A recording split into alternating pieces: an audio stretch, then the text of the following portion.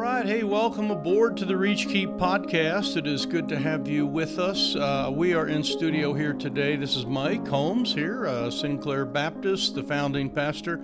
Want to spend some time talking with you about this concept we've covered the last several weeks, and this is the idea of what we call the preparation environment and the importance of it. Now, we have had a couple podcasts in the past here uh, that we have dealt with. In fact, I wanted to bring a couple of them up here uh, just so make sure that you kind of get those. But this is the secret. In other words, if if someone was voting for your church, why would they vote for you? Okay, we're very much into kind of the voting and what's it all about. And in fact, some of the old uh, politicians that kind of uh, talk about election season and all that, they have a little saying that says, um, it, it, I don't really care for the saying, you probably don't either, but they say it's the economy, stupid.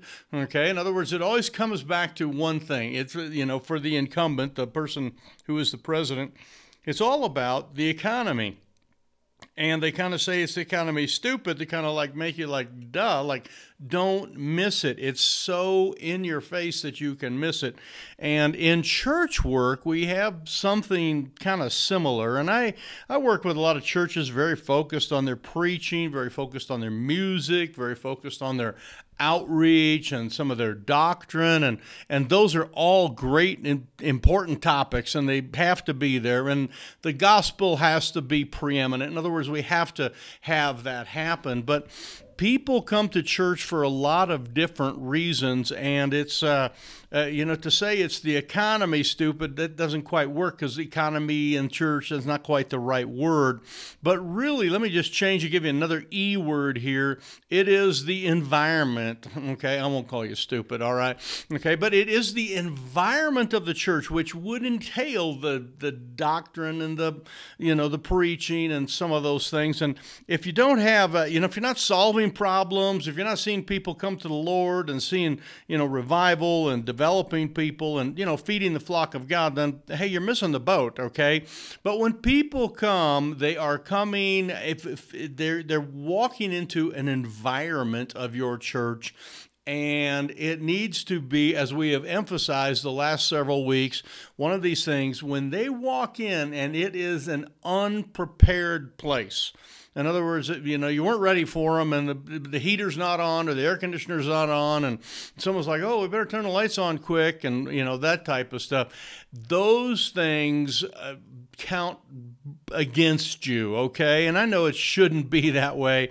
And I'm not talking about good church folk, the regular good church folk. They're going to be there if there's electricity or not. They're going to be there.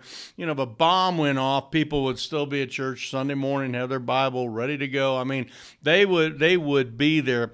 But we're talking about new people and reaching new young families here, you know, at Reach Keep. That's what we focus on. And people come because of the environment. There's something there. And again, it doesn't have to be this super spicy. Uh, you know, rock and roll kind of environment. I'm not uh, not into all that kind of stuff, but it cannot be an unprepared environment. And uh, we we've spent the last several weeks going through a couple different things, and I wanted to bring a couple of these up for you. Um, just the the idea here. Uh, let's just jump back to uh, the one here with Eric. Uh, we did a interview a few weeks back here of uh, called "The Rescue of an Almost Closed Church," and you need to watch this. This is this guy has got the environment thing down pat. Now he's an older pastor, been around for a while, but he was in a church plant situation, and uh, you'll have to listen to the whole story. But he moved to a church that was just about gone. Okay, and I've been down to that church many times over the years, and know there's some good people there, and they're solid and all that. But just because of health reasons and economy and different things, it was just about gone. And Eric mastered the environment, okay, uh, of what it was all about. Now, I've heard him speak. He does a fine job there, uh, but he's no Charles Spurgeon, okay? He's no, you know, all these people, you know, like this guy. It doesn't have to be fire in the pulpit. You don't have to be Billy Sunday or whatever, but people are coming in and they're paying attention, you know, the, is it is it clean? Is it sharp? Are they ready? Were the lights on? Is the grass cut? Is a snow shoveled from the sidewalk? And all of those kind of things things shout so much louder when it comes to reaching new people and keeping those people and then having those people want to get involved. There's one thing about, you know, getting them to come to a couple services, but when they say, "Hey, I want to I want to give. I want to volunteer. I want to tell my friends about this church." And then, you know, you are this environment where the seed lands and it grows, and that is such a powerful, powerful thing. And this one, the rescue of an almost closed church, was was uh, just a powerful thing there that uh, Eric did.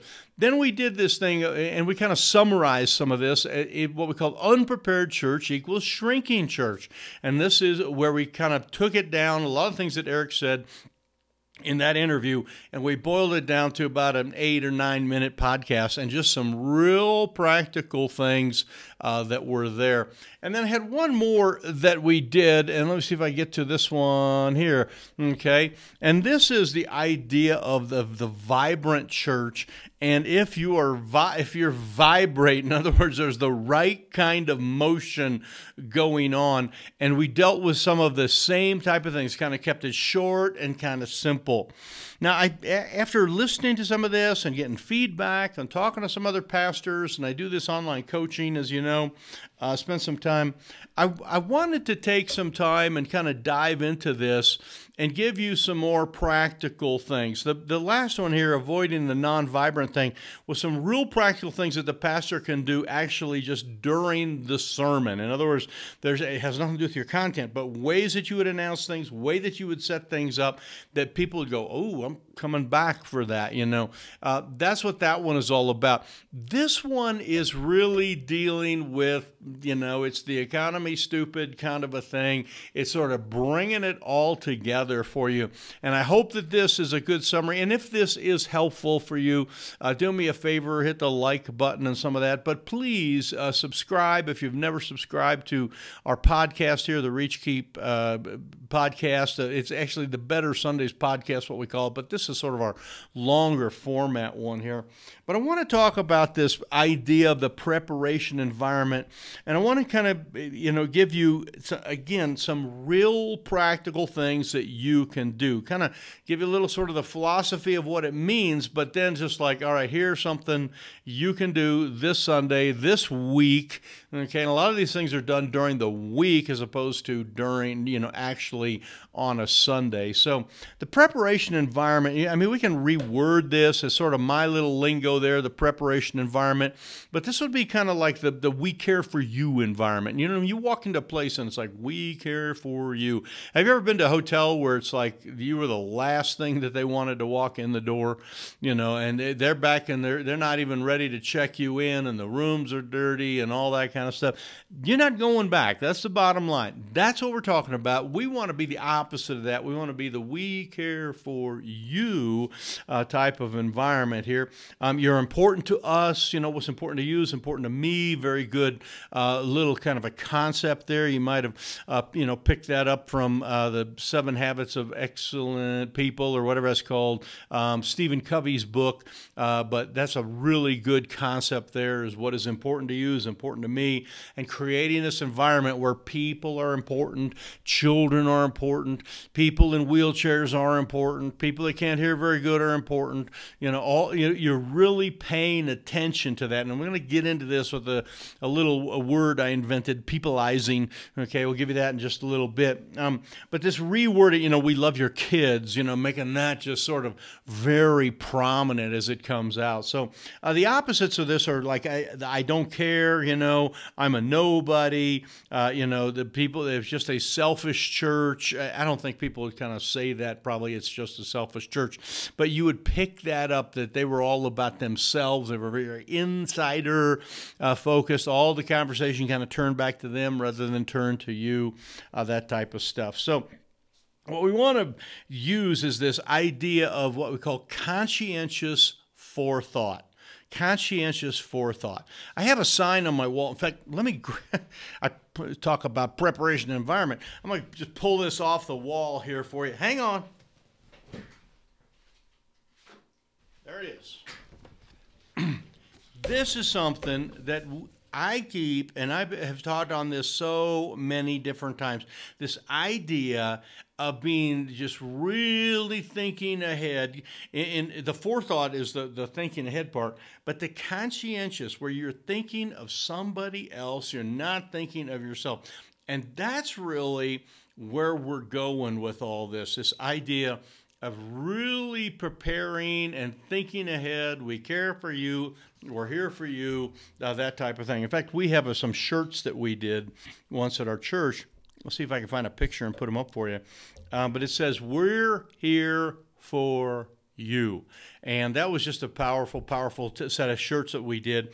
Uh, we had I Love My Church thing. But if people are going to, you know, vote for your church, all right. In other words, they're, going to like, that's my church, or hey, go to that church, and that's a good one you're going to have all of this stuff uh, be on top of these things and be really ready to go. Now, I want to kind of give you sort of the, the, the philosophy of it here, and then I'm going to give you just some practical stuff that what you can you can actually actually kind of pull it together.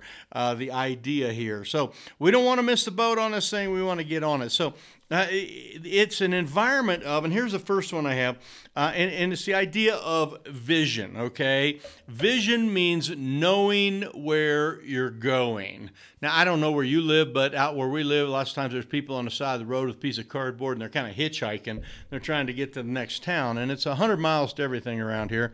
So they usually have a t- name of the town, you know, you know, this way or that way, Salt Lake, Denver, whatever, and they will put up a, a, cardboard thing, hold it up, and because they're trying to get somebody that's going the same direction. The reason they're on that road or on that entrance ramp to an interstate there is because you are going that way and they know you're going that way. And this is the idea here that this environment that you create in your local church, and it's created through, again, good preaching and good music and all that, but you are on top of it and you have a vision and you know what is going on. Now, I'll boil that down to something simple that you can do um, every week here in just a minute. But this idea that you are a, and you don't have to, I don't mean like visionary, like, woo, you know, you're out there and, you know, seeing trances and, you know, 600 foot tall Jesus and, you know, all that kind of stuff. But you know the port that your ship is going to. In other words, our church is going this direction, and that is very evident to everybody that as the leader, you have got the, the, the ship pointed the right direction.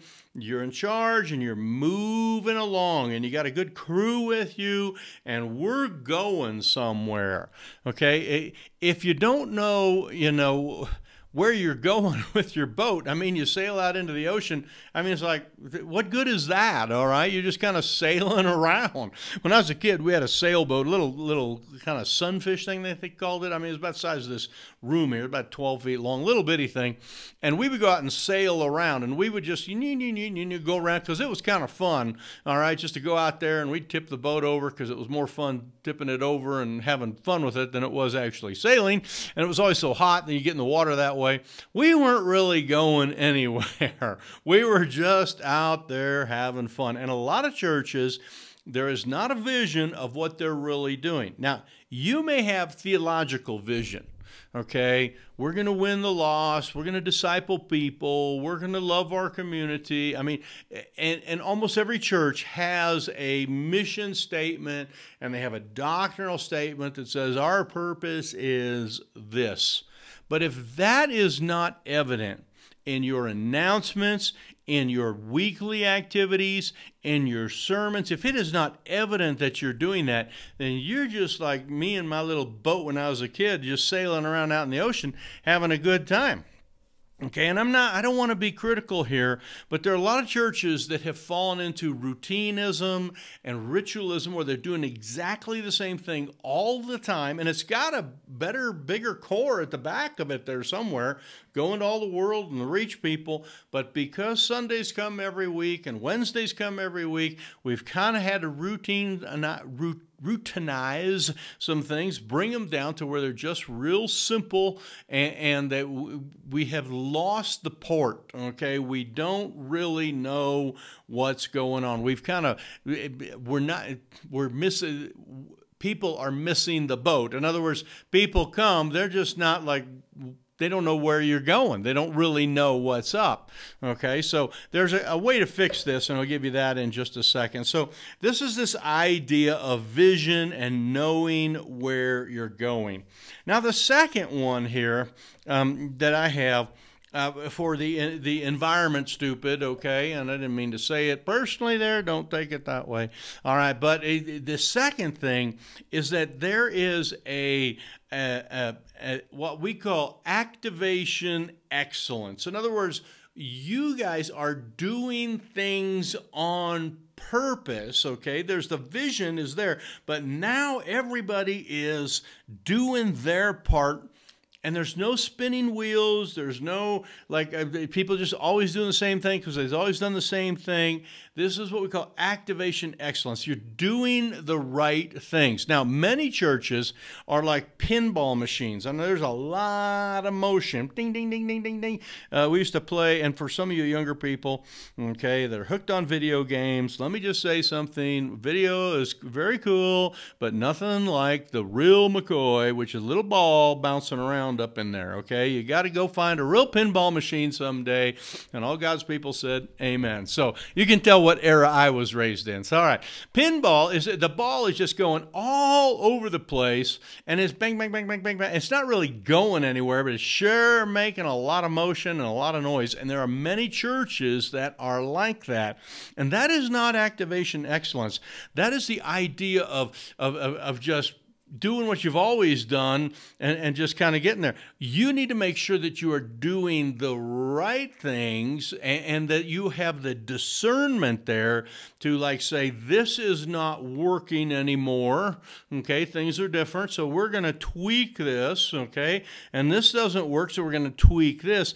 And you really come up with this idea of these are the right things that we are doing. And th- this is, again, this will be in your environment. This will be, this will ooze out because you'll, people go, wow, look what they're doing at that church. That other church has a, let, let me give an example. I have a, many churches that have, um, you know, like a door knocking or a visitation type program. And they started it, you know, 40 years ago, and it's every Tuesday night or Thursday night or Saturday morning, whenever it happens to be.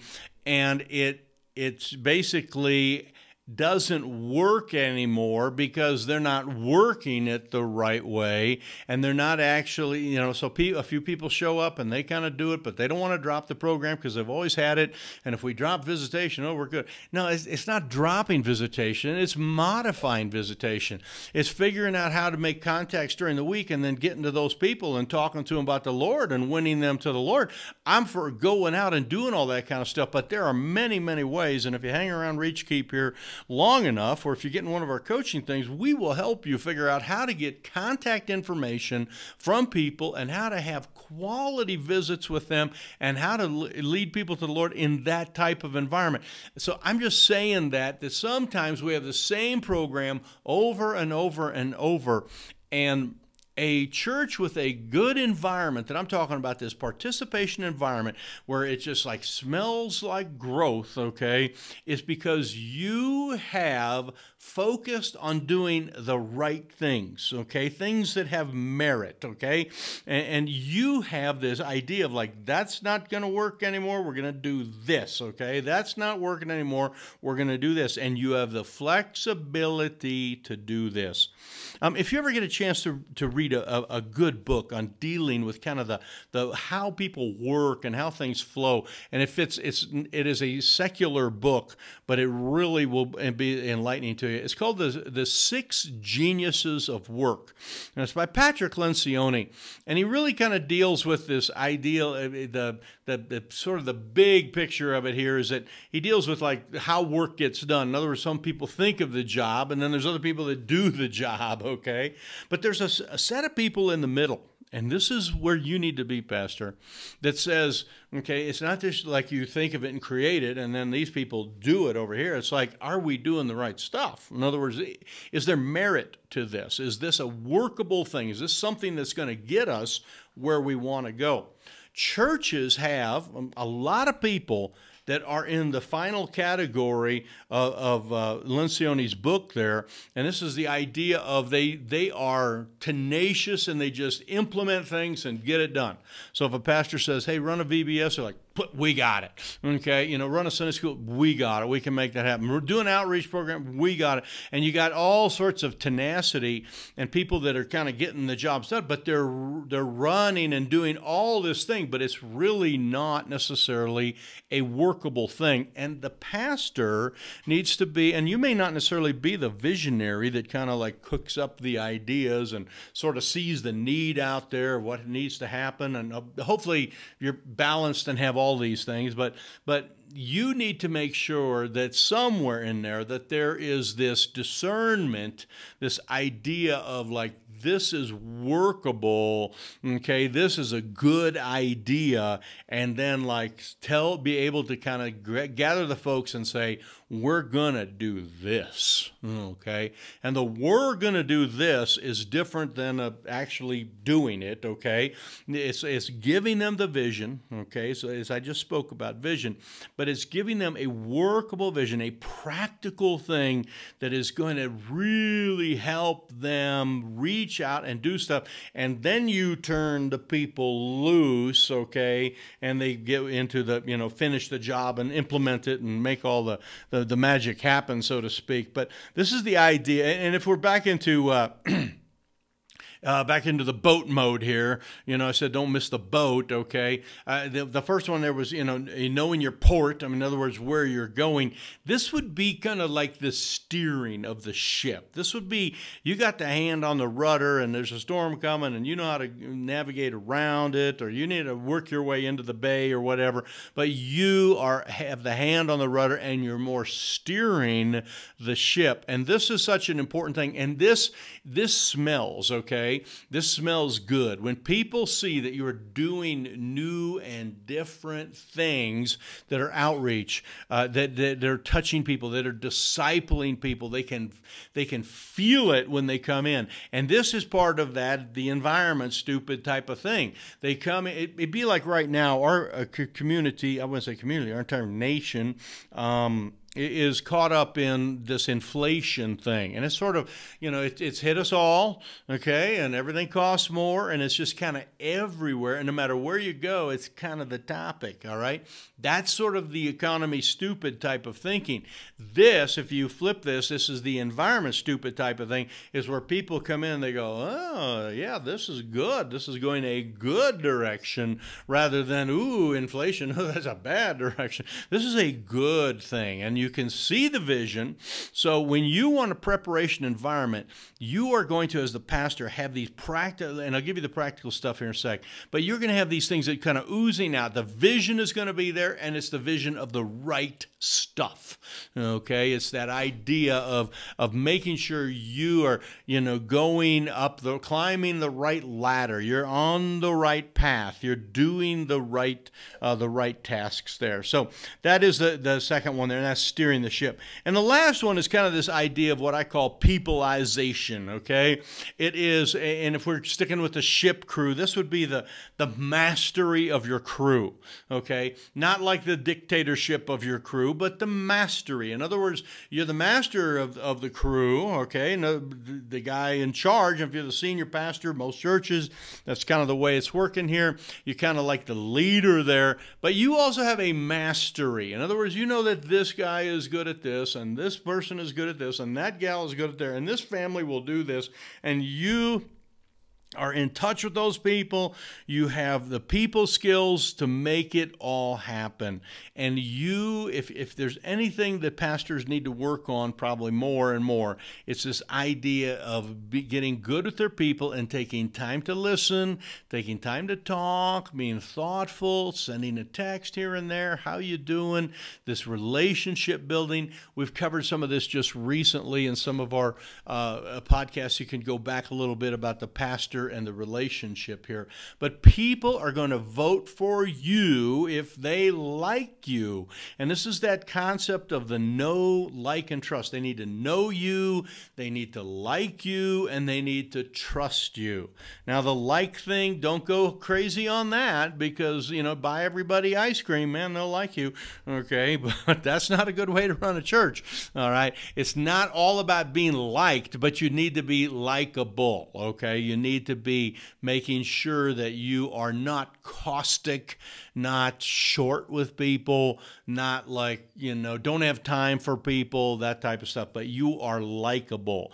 Probably if you ever met a politician personally, okay, in other words, like stood in a line and they went by and you shook their hand, it's like, you know, you could see their smile, you could see their demeanor, they kind of look you in the eye, nice to meet you, you know, maybe you went to a political rally where they kind of, you know, answered some questions and you begin to actually like that person. You probably then voted for that person. When I was a little bitty boy, I grew up in Kansas City area uh, nearby, and when I was probably in kindergarten, I would guess, or first grade, that, that I was over at my friend's house, a guy named Charlie Campbell, and his dad hollered down. We were playing in the basement, playing Army Men or something, and he said, "Hey boys, boys, come up here. you need to meet our next senator."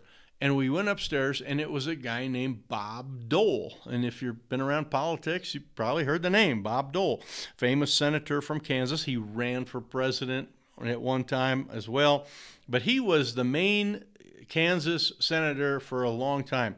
How he was connected to this Charlie Campbell's dad, I have no idea. Maybe they went to school together. Uh, but for some reason, Bob Dole walked in the house by himself. I was a little boy. We walked up upstairs. It's like, okay, nice to meet you. You know, we shook hands or you know whatever, and we left and all that. The rest of my life, every time I had an opportunity, I voted for Bob Dole because I had met him. Okay. And I didn't really even know him. I was too young for politics at that stuff. But I always remember meeting Mr. Dole. And because I, met him and kind of knew him a little bit, I, liked him and I voted for him. And pastor people are voting for you, they're voting for your church. And this idea of peopleizing and having a, the mastery of your crew, making sure you have done all the different things there to, to, to know how they work and whatever. And again, it's not all about being liked, but it is being, it is making sure that you are a people person and in charge of that. So let me give you the practical stuff here because we, we like to do that here. I wanted to spend some time with you on this.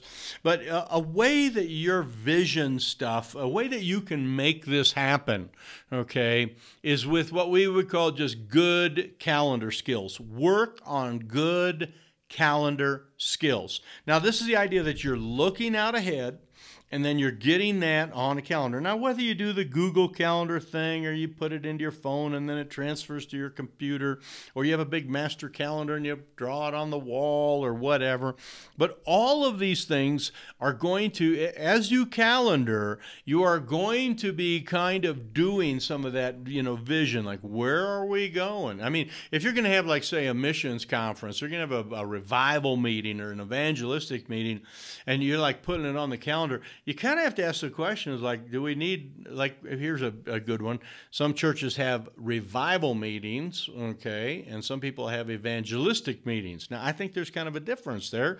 To me, one is much more about outreach, and the other one is about kind of like getting us all right with God, okay. I think there's probably need for both of that at some level. But your church, probably right now, you're thinking, wow, we need that one or we need that one. And when would the best time to do that? As you're doing that, you're developing vision.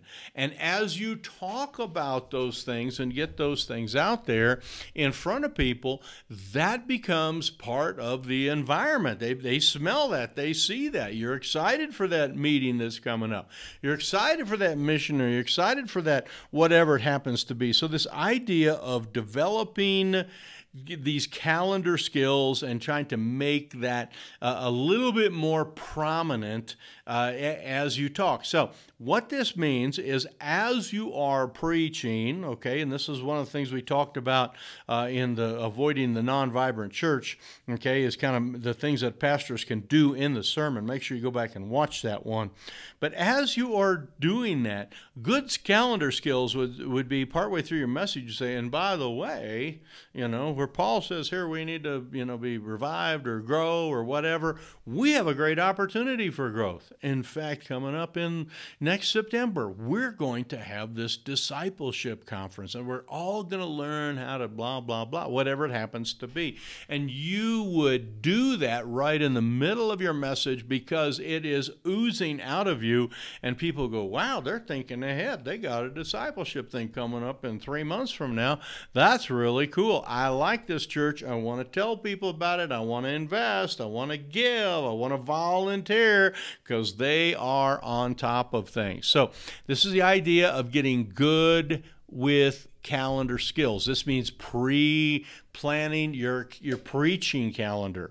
Uh, we have a, a, video we have done on our how to develop a preaching calendar. I'll try to put a link to it in the notes here and go back. But if you would like some coaching on this, we have done this before with a lot of guys. Help them develop. You know, think it all through. Where are we going, and what are we talking about? And whether you're an expositor and go book by book and verse by verse, or you're a topical guy, you still need to ask that question What do my people need to eat? Okay, I'm supposed to feed the flock of God, and sheep eat different things at different times of the year. Okay, I come from the sheep background, and I can tell you that they don't just eat grass all the time or hay all the time.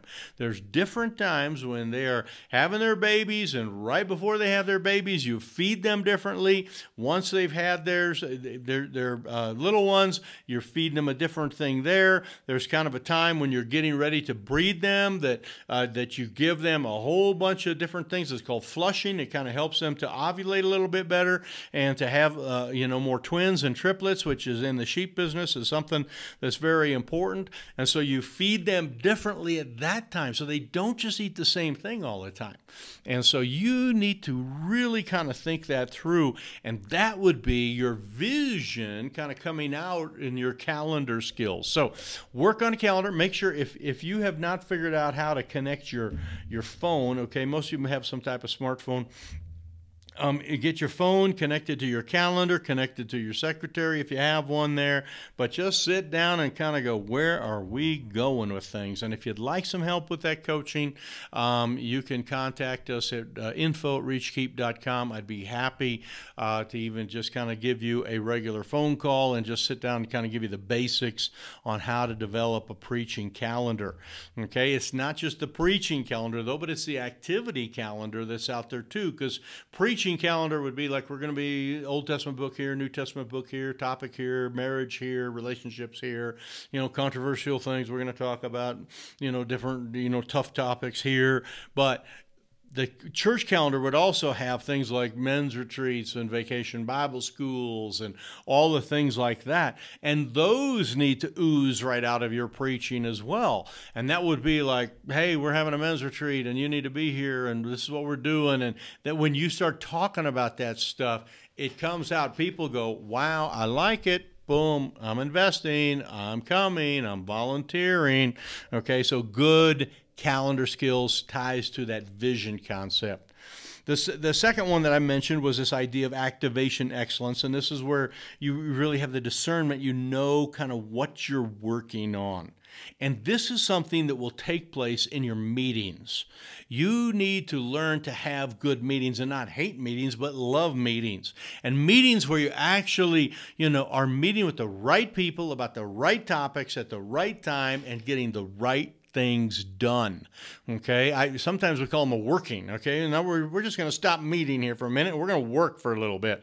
And we've had many times when I've met with my staff and we've kind of talked about we want to do something, and I said, you know, tell you what, let's just spend the next 15 minutes. Each of us grab your laptop, grab your phone, whatever, research whatever it is. Let's reconvene in about 15 minutes and let's see if we can kind of figure this out. You work on if we need envelopes for this, and you work on you know calendar dates for this, and you work on some topic for some of that stuff, and and you see if we can you know get get the into the public school system here and get the calendars and let's get things coordinated. You work on the calendars, I'll work on this and let's see what we can come up with. And you spend 15 minutes, boom, and then you come back together and you go, all right, here, let's get some things done.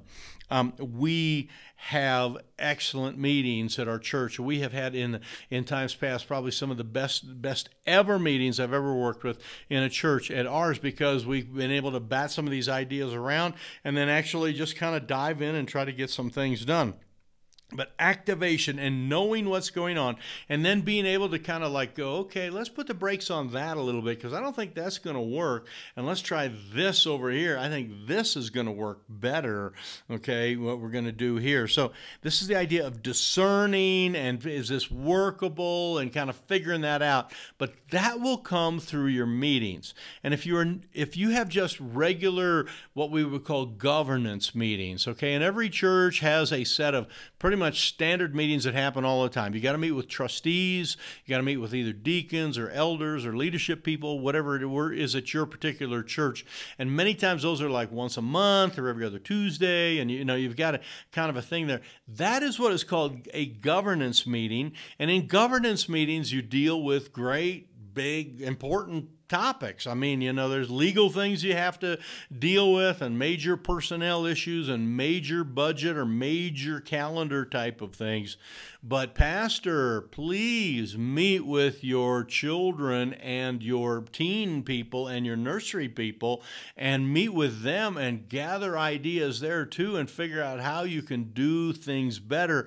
And is this workable or is that not workable? You know, figuring all that stuff out. So, there are many, many kinds of meetings that you can go to. Uh, if you go to our uh, website, and I wouldn't say website, go to, um, let's see, go to Reach Keep, uh, the the YouTube channel.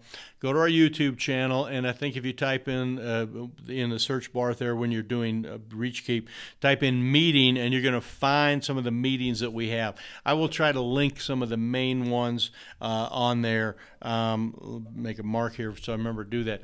We will get you some links for this, but meetings is so important. So if you are going to be oozing the right things with your environment, okay, oozing out the right things, you know, uh, so people are going to vote for you, all right? They're going to follow you. They're going to, you know, go after you. You're going to be work on the calendar skills and some of that vision stuff, and then work on this implementation uh, or activation stuff, uh, and really get good at that and get good serious kind of meetings, okay, where you're really working on some of those things and hammering things out and getting stuff done. Got a good agenda, you know where you're going, got the right people at the meeting, that type of thing. So, now the last one here, the last one is what I call peopleizing, okay? The peopleization, okay, is where you would really get good at the people stuff. Now, there are many, many ways to do this, and I would go back and listen to a couple of the relationship podcasts we just did uh, probably two months ago. They should be not too far back if you're looking in the feed there on YouTube, on our uh, YouTube channel. Okay. But this is the idea of you need the, it is the know like and trust factor. It is where the, you know we call it the klt uh, factor okay? You are going to know like and trust. They're going to know like and trust you all right? So we already kind of covered a little bit about the likability thing. I don't think that needs to be uh, hit again. Uh, that can be overdone. But for people to know you and to know what you feel and to know what you are like and whatever there's some very powerful things things that can happen when you begin to kind of share your heart. And as you share, then they share. and all of this is just powerful, powerful stuff. The idea of for them to, to know you, they need to know you, and then they begin to trust you. They trust you as you're steering the ship. They you are their master in a sense, and I'm not talking about the dictator master, but the mastery. In other words, they they you, they respect you because they see where you're going with your life and your devotions and your family and your children and your preaching and all that, and they're like, wow, I'm going to follow, I'm going to follow that person. This is so important. And the tip I have for you on this, okay, this is probably just a starter one to kind of get you going, but, and it's something that you can do uh, with your smartphone, but learn to text and, and communicate on your phone a little bit better. Now, some of you don't text very good. Some of you don't talk on the phone very good. Some of you don't tweet very good or whatever.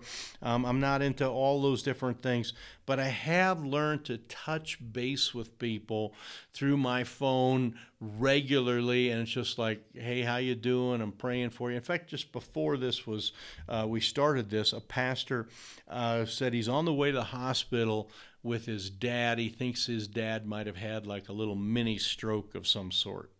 Okay, when this podcast is over, when I'm done with all this microphone and computer screens and all this stuff and doing all this recording, I shut everything down. The first text that's going out, it's like, How are you? You know, what is going on? Okay, how's your dad? How are you doing? You know, anything I can do, and I'm I'm hours away from this guy, so there's really not much I can do. But I already let him know I'd be praying for him.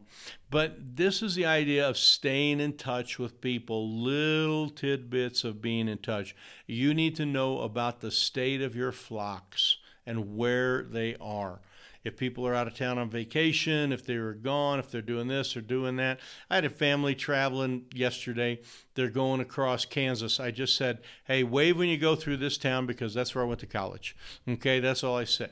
A little bit later, they said, "Hey, we just waved as we went through that town." You know, I mean, but just a little kind of a touch there. You can do that. The peopleization, okay, as you start to peopleize more, okay, that is good. This is where you can stay in touch with people and be concerned about people. And after church and before a service, make sure you have everything else done so that you can talk and connect with your people.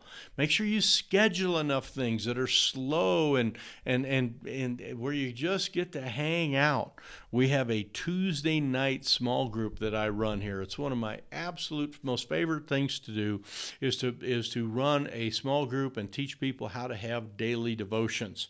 And uh, I just love doing it. And so we've been doing it now, and we are on Tuesday night, this last Tuesday night, we were going to have a big campfire service and have everybody out. We're going to cook a bunch of hot dogs and brats, and everyone's bringing little goodies, you know, and then we're going to sit and eat and talk about the Bible out there around the campfire.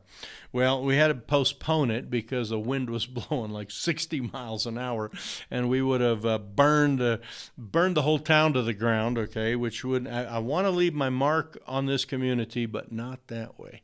Um, so we postponed it. It is coming up. It is tomorrow night and I can't wait because I have everything done and I just get to sit and talk to people till the cows go home, as they say. Just spend time with people and work on that. And as you do that, that becomes part of your environment that you are an open church, you're a friendly church, you're a loving church, you're a forgiving church, you are a, an accepting church, all of that. And no matter who walks in the door and what they look like and all that kind of stuff, just love on them. Just be friendly to them. Just be as kind as you possibly can be.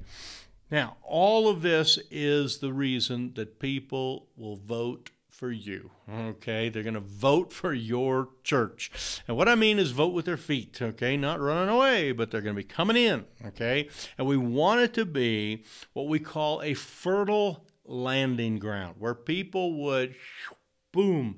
And it would be like the soil. They would land here and they would grow and they would mature and they would put their roots down in there. It wouldn't be like, you know, hard pan where the seeds bounce off and, and go far away, but you would have that preparation environment and you do everything you can to make it a nurturing environment. People land and they want to volunteer, they want to give, they want to give their life, they want their children to be there, they want their neighbors and friends to be there. This is what this is really all about. And it is the environment stupid, okay? It really is what it's all about. That's going to be, you got to be good with your Bible and good with feeding the flock and all that. That's a part of it. But when we have new people coming in, they're going to come in, they're going to stay because of what we just talked about. So I hope this has been helpful for you. If it is, give me a thumbs up. I appreciate that. And when you subscribe, what you are doing, uh, if you've never subscribed, is you, then you are going to, it's however Google does its magic stuff. Okay, I think you can get, hit the notification bell that's on there as well. And then you'll get notified when there's a new uh, one of these things. But this is the kind of stuff that we need to work on and focus on. This kind of stuff has been so encouraging to me. I have other pastors, other podcasts, other things I listen to, and I get, you know, charged up and rallied up because I'm learning good stuff. Can you watch way too much news? Yeah. Can you watch too much sports? Yeah. All of those things can happen, but we need to encourage one another. And if you subscribe or if you share this with somebody else, that would be super blessing to me and it's just going to help them and we're going to do everything we can to advance the kingdom of god. So anyway this is mike at the reach keep podcast and i'm so glad that you're here. Again thanks for hitting the buttons and subscribing and all that stuff. Make sure you go back and go to those ones that we talked about um, the avoiding the, the non-vibrant church uh, avoiding say it right avoiding the non-vibrant church the interview uh, with Brother Eric. And uh, what's the other one here? Um, okay, uh, the unprepared church. That's the one of the practical stuff where we summarized everything on the interview uh, into one short, uh, simple thing. So, anyway, love you guys. So grateful to have you as friends. If you're interested and need some help with the coaching calendar, coach any of those type of things, info at reachkeep.com. Shoot me a note and I'll send you a link and we'll set up a phone call and you know no charge kind of a thing. We'll just talk, okay? If I can help you, I want to do that. That's my heartbeat. Creating flourishing churches. I'm here for you. So God bless. This is Mike at the almost said it, the Better Sundays podcast. That's the other one. At the Reach Keep podcast. And God bless. We'll see you next time.